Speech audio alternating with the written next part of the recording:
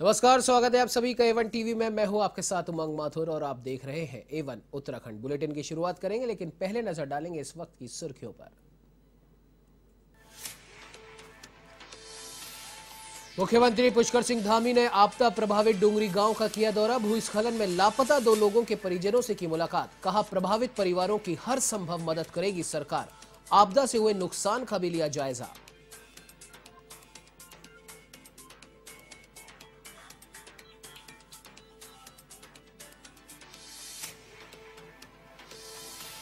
पूर्व मुख्यमंत्री हरीश रावत ने लिया अतिवृष्टि, प्रभावित इलाके का जायजा, हादसे में मृतकों के परिजनों से मिलकर जताया दुख। बाजपुर इलाके के कई गाँवों का किया दौरा।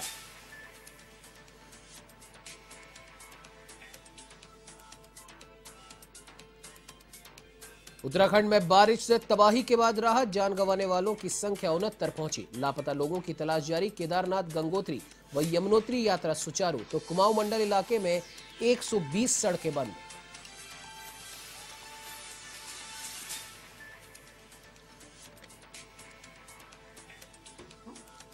अल्मोड़ा की सोबन सिंह जीना विश्वविद्यालय के छात्रों का फूटा गुस्सा। कॉलेज परिसर की तालाबंदी कर जताया विरोध।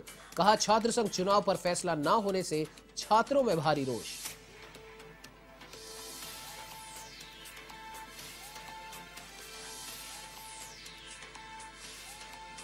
संजीवनी संस्था ने निभाया सामाजिक सरोकार, सिविल सर्विस इंस्टीट्यूट में किया दिवाली फेस्ट का आयोजन। लोकल उत्पादों को बढ़ावा देने के काम में जुटी आईएएस अधिकारियों की धर्म पत्नियाँ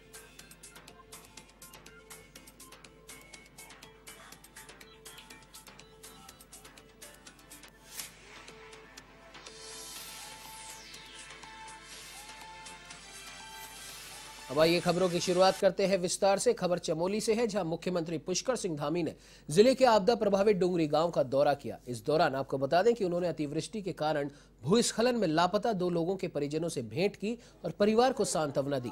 मुख्यमंत्री ने कहा कि सरकार प्रभावित परिवारों की हर संभव मदद करेगी। उन्होंने डूंगरी गाँव में आपदा से हुए नुकसान का जायजा भी लिया और अधिकारियों को राहत व बचाव कार्य में तेज़ी लाने के निर्देश दिए। इस दौरान मुख्यमंत्री के साथ पर्यटन एवं जिला प्रभारी मंत्री सतपाल महाराज एवं आपदा प्रबंधन मंत्री डॉक्टर धन सिंह रावत मौजूद रहे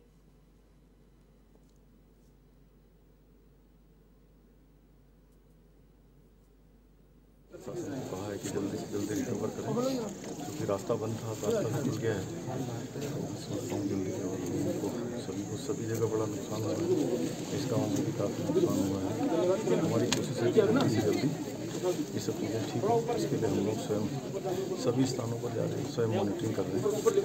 विषय में जाके सभी इसकी समीक्षा करने वाले हैं। इसके बाद हम पौड़ी जाएँगे वहाँ पर समीक्षा कर रहे हैं।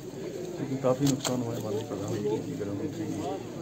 लगातार हमारे देश का मनोबल बढ़ा रहे हैं, लगातार वो, वहाँ से जो भी ज़रूरत है, उसके लिए उन्होंने आश्वासन भी दिया है।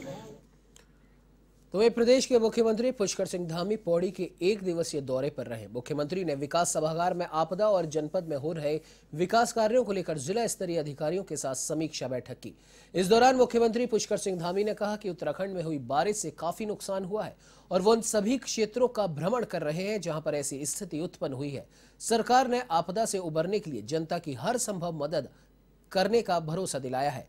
विकास भवन सभागार में लोक निर्माण विभाग के अधिकारियों को निर्देशित किया गया है कि जिन क्षेत्रों में सड़कें टूटी हैं या फिर पेयजल लाइनें क्षतिग्रस्त हो गई हैं, उन सभी क्षेत्रों में आपदा से हुए नुकसान की मरम्मत की जाए।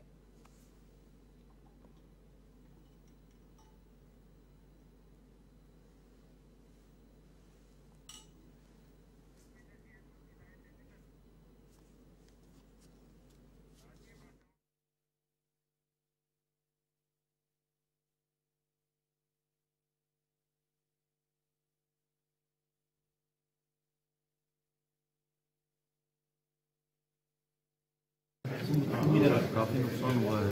इसमें चमोली जनपद में भी काफ़ी नुकसान हुआ। 125 सड़कें बंद थी, आठ पुल जो है क्षतिग्रस्त हुए हैं। अभी बयानवे 125 में से बयानवे खुल गई हैं। तैंतीस अभी बंद हैं, उनको भी जल्दी खोलने की प्रक्रिया हो रही है।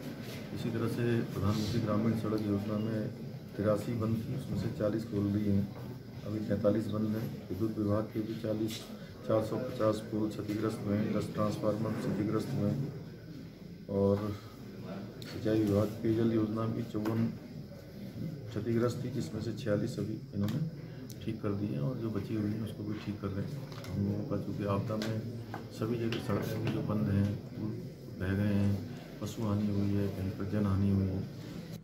तो वही 18 अक्टूबर को आई आपदा को लेकर हल्द्वानी में कुमाऊं कमिश्नर सुशील कुमार ने प्रेस वार्ता करते हुए प्राकृतिक आपदा में हुए नुकसान की जानकारी दी।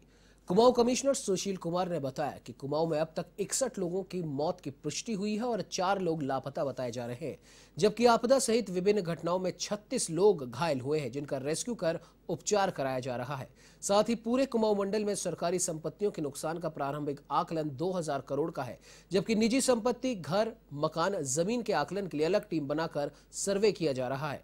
कुमाऊं कमिश्नर ने कहा कि फ़िलहाल रेस्क्यू ऑपरेशन में सेना के साथ हेलीकॉप्टर सहित एसडीआरएफ, एनडीआरएफ और 1500 पुलिस के जवान सहित पूरा सरकारी तंत्र लगा हुआ है।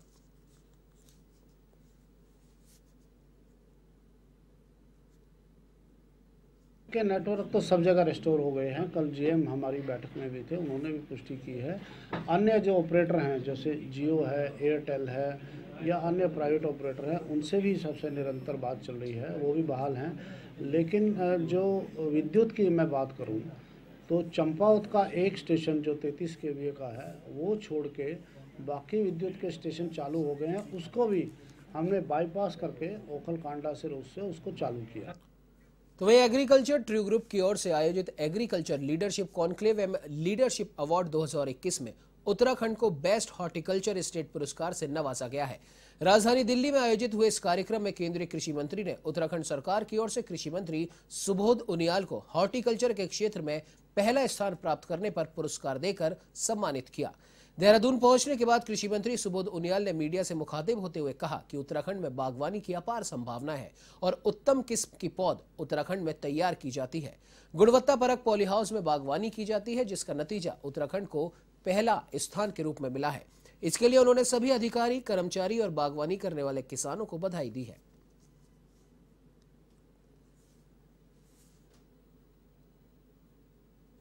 देखिए, निश्चित रूप से बहुत ही अच्छी खबर है। राज्य के लिए कि हमें देश में सर्वश्रेष्ठ हॉर्टिकल्चर स्टेट का अवार्ड मिला। और ये इस बात का प्रमाण है कि पिछले तीन चार वर्षों में हम लोगों ने लगातार प्रयास किए। कि इस राज्य में किसान की आर्थिक स्थिति मज़बूत हो और खेती के प्रति उदासीनता घटे। और जो आदरणीय प्रधानमंत्री की परिकल्पना थी किसान की आय को दोगुना करना, इसके लिए हम लोगों ने तमाम रिफॉर्म्स भी किए करीब सौ से ज़्यादा रिफॉर्म्स इस राज्य में किए गए थे, और खासकर बागवानी क्षेत्र में जिस तरह से इस राज्य के सेब को मार्केट नहीं मिल पाता था, और इस राज्य का सेब हिमाचल के नाम से बाज़ार में जाया करता था, आज हमको पिछले तीन वर्षों में सफलता मिली कि आज हम चार लाख से ज़्यादा बॉक्सेज में अपने राज्य के सेब को मार्केट में पहुँचाने का काम कर रहे हैं। तो वही बाजपुर में पूर्व मुख्यमंत्री हरीश रावत ने भारी बारिश से हुए नुकसान और जनहानि का निरीक्षण किया। इस दौरान उन्होंने मृतक के परिजनों से मुलाकात कर दुख व्यक्त किया। उन्होंने प्रदेश सरकार पर लापरवाही बरतने का आरोप लगाते हुए लोगों को उचित मुआवजा जल्द उपलब्ध कराने की बात कही। आपको बता दें कि तीन दिन की मूसलाधार बारिश से जलभराव के चलते जनजीवन पूरी तरह अस्त व्यस्त है। बारिश से बाजपुर के ग्राम झारखंडी निवासी रामदत्त भट्ट की नदी में बहने से मौत के साथ साथ लोगों का भी भारी नुकसान हुआ है। है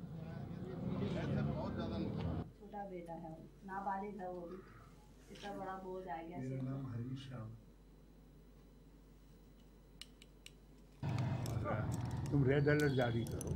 तो फिर राज्य सरकार ने ये कोताही क्यों बरती? डैम्स डैम्स और ऐसी जगहें सबसे ज़्यादा नाजुक होती है। यहाँ मैंने सारे तराई में पूछ लिया, डैमों का पानी छोड़ा गया, लेकिन किसी को पहले से वार्निंग नहीं की कहीं मुनादी नहीं की और अचानक पानी छोड़ा आपने, और सारा सारा तराई भावर जो है, पानी में तैरने लग गया, डूब गया। लोगों की फ़सलें बर्बाद होगी लोगों के घर बर्बाद हो गए, लोगों के भंडार बर्बाद हो गए, लोगों की दुकानें बर्बाद हो गई। कौन सी चीज़ ऐसी है जो बर्बाद नहीं हुई? और अब हालत ये है। तो वही कांग्रेस के पूर्व मुख्यमंत्री हरीश रावत को पंजाब प्रभारी के दायित्व से मुक्त करने के बाद उत्तराखंड कांग्रेस में खुशी का माहौल नज़र आ रहा है। तो वही पूर्व मुख्यमंत्री और कांग्रेस के राष्ट्रीय महासचिव हरीश रावत ने भी पार्टी हाईकमान का आभार जताते हुए धन्यवाद दिया। उत्तराखंड कांग्रेस के उपाध्यक्ष और वरिष्ठ प्रवक्ता धीरेन्द्र प्रताप ने आलाकमान के फैसले का स्वागत किया है।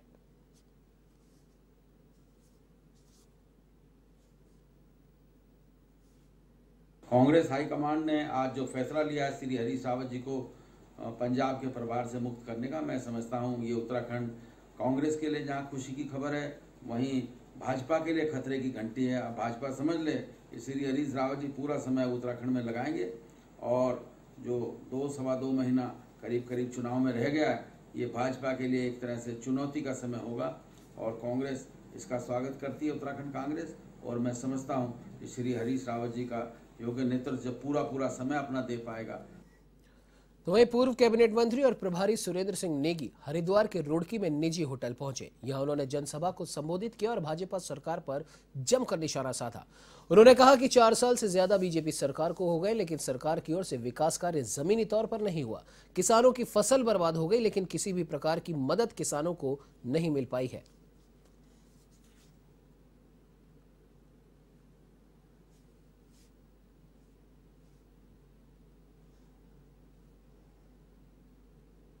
कि ग्रामीण क्षेत्र में कार्यकर्ताओं के साथ एक मुलाकात कुछ राय शुमारी करने के लिए मैं यहाँ आया हूँ। और इसमें जो अभी लगभग एक घंटे से मैं रुड़की इंटेंस के बाद अभी तक जो कार्रवाई आपके सामने चल रही थी, उसके बारे में मैंने जब प्रश्न किया कार्यकर्ताओं से कि क्या इन पौने पाँच सालों में कोई भी विकास के कार्य आपके क्षेत्र में हुए? हर कार्यकर्ता का एक ही कहना था कि इन पौने पाँच सालों में बीजेपी के राज में एक भी विकास का कार्य उनके क्षेत्र में नहीं हुआ। हरिद्वार और खासकर हमारा रुड़की जो ग्रामीण क्षेत्र है, वो पिछले साढ़े चार साल से एक संगठन के नाम पर वो दिशाहीन है। जब तक संगठन का या किसी टीम का कैप्टन ही नहीं होगा तो टीम बिखरी हुई है आज की तारीख में। उसी के सपेक्ष जो है, इसी चर्चा में जो है हमारे प्रभारी बनाकर हमारे रुड़की ग्रामीण के माननीय पूर्व कैबिनेट मंत्री सुरेंद्र नेगी जी हमारे बीच में। और वो आए हैं बिल्कुल दूध का दूध पानी का पानी करने, क्योंकि यहाँ पर कुछ नेताओं द्वारा काफ़ी भ्रम फैलाया गया है। मज़बूत आदमी को वो नहीं चाहते हैं। बता दें कि राजधानी देहरादून में संजीवनी संस्था की ओर से ओल्ड मसूरी रोड स्थित सिविल सर्विस इंस्टीट्यूट में दिवाली फेस्ट का आयोजन किया गया, जिसमें लोकल उत्पादों को बढ़ावा देने के लिए संजीवनी संस्था ने ये पहल की है। दो दिनों तक चलने वाले इस फेस्ट में उत्तराखंड के कई तरह के उत्पादों को एक प्लेटफॉर्म पर लाया गया है। संजीवनी संस्था उत्तराखंड के आईएएस अधिकारियों की पत्नियों की संस्था है, जो राज्य में लगातार सामाजिक कार्यों में अपनी भूमिका निभाता है। इस तरह के फेस्ट के आयोजन का क्या कुछ उद्देश्य है, इसी को लेकर हमारे संवाददाता शैलेंद्र पांडे ने खास बात की संजीवनी संस्था की अध्यक्ष हरलीन कौर संधू से। राजधानी देहरादून में संजीवनी दीपावली फेस्ट का आयोजन हो रहा है। यह आयोजन दो दिनों तक चलने वाला है। आयोजनकर्ता के अध्यक्ष हैं हरलीन कौर संधू जी। हम इनसे जानने की कोशिश करते हैं कि इस तरह का जो आयोजन है इसका मकसद क्या है। मैम पहले तो हमारे चैनल में आपका स्वागत है। इस तरह का जो फेस्ट का आयोजन है क्या इसका मकसद है? आ, हम लोगों ने दिवाली फेस्ट इस पर्पज़ से लगाया है कि जो उत्तराखंड के आर्टिजन्स हैं और यहाँ के एंटरप्रेन्योर्स हैं उनको हम एक प्लेटफॉर्म दे सकें जो कि अफोर्डेबल हो, जहाँ उनका बहुत खर्चा ना हो। कोविड के कारण बहुत ज़्यादा बिज़नेस पे इफ़ेक्ट हुआ है तो हम चाह रहे थे कि उनको ऐसा प्लेटफॉर्म दें, जहाँ पे वो अपने प्रोडक्ट्स को दिखा सकें और उनकी कोई सेल हो सके, ताकि उनको भी थोड़ा सा आर्थिक लाभ हो पाए। और जो हम इससे अर्न करेंगे, वो हम अपनी सोशल वेलफेयर एक्टिविटीज़ पे यूज़ करेंगे कम्प्लीटली उत्तराखंड के लोगों के लिए। मैम, इस फेस्ट में कौन कौन से सामान हैं कहाँ कहाँ से लोग इसमें आए हुए हैं, और किस तरह के यहाँ पर सामग्री है? हमने कोशिश यही करी है कि उत्तराखंड के आर्टिजन्स और एंटरप्रेन्योर्स को यहाँ बुलाया जाए। ऑलमोस्ट सभी वहीं के हैं, एक आध कोई बाहर से होगा, बाकी सब उत्तराखंड के ही लोग हैं। तभी उन्हीं के लिए ही हमने प्रोग्राम आयोजित किया है। और सामान जैसे आप देख रहे हैं, कपड़ों से लेके, ज्वेलरी से लेके, दिवाली का सामान है, दिए हैं देन हमारे फॉरेस्ट डिपार्टमेंट से मेडिसिनल प्लांट्स हैं और जैसे होममेड सोप्स हैं जैसे छोटी कारोबार हैं लोग घरों में चलाते हैं उनके लिए कैंडल्स का उनका कारोबार है उनका होममेड सोप्स का है कॉस्मेटिक्स का है ये सब है यहाँ पे। और लाइव हनी बी एक्सट्रैक्शन का भी एक होगा और मेहंदी का भी इसलिए आयोजन किया क्योंकि करवा चौथ है संडे को तो लोग जो आएँ वो अपना मेहंदी का भी करवा के जाएँ। एक, एक ऐसा जगह हो जहाँ पे सब कुछ उनको मिल पाए ताकि उनको और कहीं ना जाना पड़े। जो लोकल उद्योग है उसको बढ़ावा के लिए इस तरह के आयोजन को कितना महत्वपूर्ण मानती हैं? बहुत महत्वपूर्ण मानते हैं स्पेशली ये कोविड के कारण जो डेढ़ दो साल से इतनी आर्थिक हानि जो हमारे कारोबार में हो रही है उसके लिए हमें उनको दोबारा we have to promote them हमको उनको प्लेटफॉर्म देना है कि उनके दोबारा उनका काम शुरू हो पाए इसलिए बहुत ज़रूरी है। तो अभी हमारे साथ मौजूद थी मैम जो संजीवनी दीपावली फेस्ट के अध्यक्ष हैं और उनका साफ़ कहना था कि जिस तरह से प्रधानमंत्री ने कहा है कि लोकल फॉर वोकल तो लोकल उत्पाद को बढ़ाने के लिए इस तरह का फेस्ट का आयोजन किया गया है। कैमरा मैन आज़ाद सिंह के साथ मैं Shailendra Pande A one TV Dehradun. बढ़ते अगली खबर की ओर। राजधानी देहरादून में संजीवनी संस्था की ओर से ओल्ड मसूरी रोड स्थित सिविल सर्विस इंस्टीट्यूट में दिवाली फेस्ट का आयोजन किया गया, जिसमें लोकल उत्पादों को बढ़ावा देने के लिए संजीवनी संस्था ने ये पहल की है। दो दिनों तक चलने वाली इस फेस्ट में उत्तराखंड के कई तरह के उत्पादों को एक प्लेटफॉर्म पर लाया गया। संजीवनी संस्था की ओर से इस फेस्ट का आयोजन किया गया है।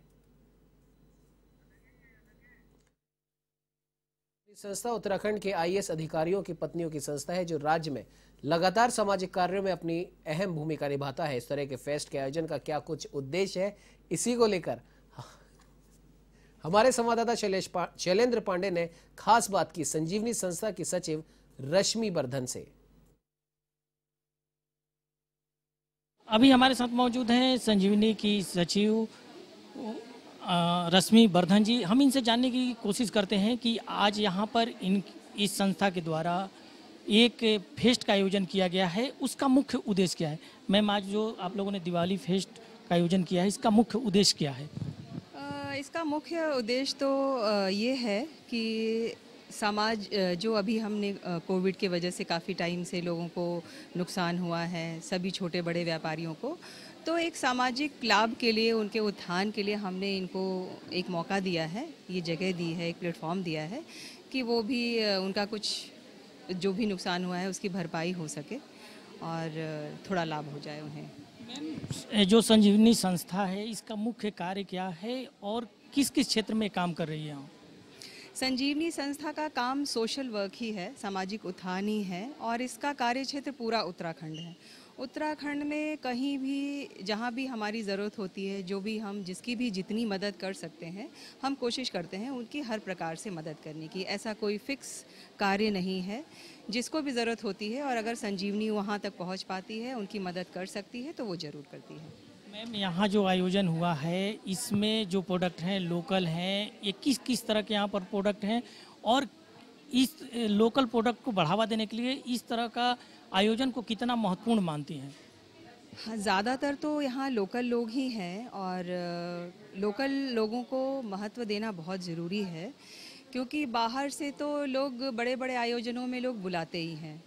लेकिन इस तरह के छोटे आयोजन के लिए छोटे प्लेटफॉर्म पे इन लोगों को बुलाना बड़े लोग तो सभी मौका देते हैं, लेकिन छोटे लोगों को मौका कम ही मिल पाता है अच्छी जगह पे जाकर के लगाने का। तो इसीलिए ज़्यादातर तो हमारे लोकल लोग ही हैं, जिनमें हर तरह का है, ऑर्गेनिक फ़ूड है मेडिसिन है, मेडिसिनल प्लांट्स भी हैं, और जो भी हमारे आसपास चीज़ें हैं, हैंडमेड शॉप है, जो कि घर से भी बहुत सारे लोग कार्य करते हैं तो जो भी आप देख सकते हैं, जितने भी हमारे सामान हैं, वो सब यहीं पे करने वाले, बनाने वाले लोग हैं। उत्तराखंड में ही हैं ज़्यादातर लोग। कुछ हो सकता है दूसरे शहर से आए हों उत्तराखंड के, पर हैं ये सारे उत्तराखंड के ही। अभी हमारे साथ मौजूद थी संजीवनी संस्था की सचिव रश्मि वर्धन जी, जिनका साफ़ कहना था कि लोकल प्रोडक्ट को बढ़ावा देने के लिए इस तरह का आयोजन बहुत ज़रूरी है और संजीवनी संस्था लगातार सोशल कामों को करती रही है। कैमरामैन आज़ाद सिंह के साथ मैं Shailendra Pande A one TV Dehradun. चलिए बढ़ते अगली खबर की ओर। आपको बता दें कि बाजपुर मंडी समिति सभागार में धान खरीद को लेकर किसानों और राइस मिलर्स के बीच बैठक का आयोजन किया गया। इस बैठक में एक किसान की ओर से राइस मिल स्वामी को अपशब्द कहने से हंगामा हो गया। इसके चलते राइस मिल स्वामियों ने बैठक का बहिष्कार कर दिया। आपको बता दें कि बारिश से किसानों के धान की फ़सल को काफ़ी नुकसान पहुँचा है। और धान खरीद को पुनः सुचारू करने के लिए इस बैठक को आयोजित किया गया था। बैठक में किसानों की ओर से रखी गई सभी मांगों पर राइस मिलर्स ने अपनी सहमति जताई, लेकिन अभद्रता के कारण राइस मिल स्वामियों ने बैठक का बहिष्कार कर दिया। तो वही भारतीय किसान यूनियन के प्रदेश अध्यक्ष कर्म सिंह पड्ढा ने किसानों की ओर से राइस मिलर से की गई अभद्रता पर राइस मिलर से माफ़ी भी मांगी।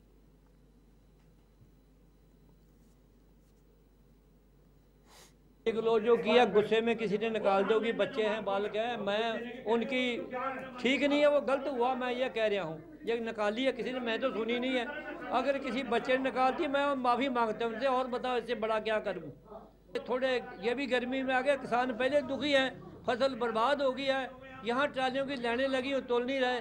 किसान दुखी होकर किसी ने गाली निकाल दी होगी तो मैं उनको बच्चा हमारा, उसको बताया, कोई बात नहीं बेटा, गाली निकाल दी है तो क्षमा करो, कोई बात नहीं। किसानों के साथ आज मीटिंग थी, जिसमें सारे राइस मिलर भी बैठे हुए थे, हमारे विभाग के एस साहब भी बैठे हुए थे, मंडी के भी लोग थे, किसान भी थे, सारे राइस मिलर आए हुए थे। हमने सारा तय हुआ इनसे कि सारा धान हम आपका खरीदेंगे, कच्चे आड़ती में भी खरीदेंगे, पक्के आड़ती में भी खरीदेंगे, सेंटरों से भी खरीदेंगे, बराबर सारे मिल वाले खरीदेंगे। कुछ मिल वालों को इन्होंने तुतु में, में गाली गलोच करने लगे। इसमें यहाँ पर अफरा तफरी मच गई है। अब किसान यूनियन के साथ जैसे सहमति बैठेगी वैसे दोबारा मीटिंग करके सहमति बना के हम धान खरीदने के लिए तैयार हैं। कोई मिलर हमारा बाहर नहीं है। और अगर कोई कच्चे आड़ती के धमकी देंगे तो हम कच्चे आड़ती का सारे मिलर कैंसिल भी करवा सकते हैं अपना। तो वही उत्तराखंड आंगनवाड़ी संयुक्त संगठन संघर्ष मोर्चा ने सैकड़ों की संख्या में सचिवालय का कूच किया जहाँ उन्हें पुलिस ने सचिवालय से पहले ही बैरिकेटिंग लगाकर रोक दिया। आपको बता दें कि आंगनवाड़ी कार्यकर्त्री, सेविका कर्मचारी यूनियन सहित आंगनवाड़ी की सात यूनियनों ने इसमें हिस्सा लिया। प्रांतीय अध्यक्ष जानकी चौहान ने बताया कि सरकार की ओर से आश्वासन दिया गया था कि आंगनवाड़ी कार्यकर्तियों को मानदेय दिया जाएगा, लेकिन पाँच सौ रुपए बढ़ाकर दिए जाने की ही घोषणा की गई है।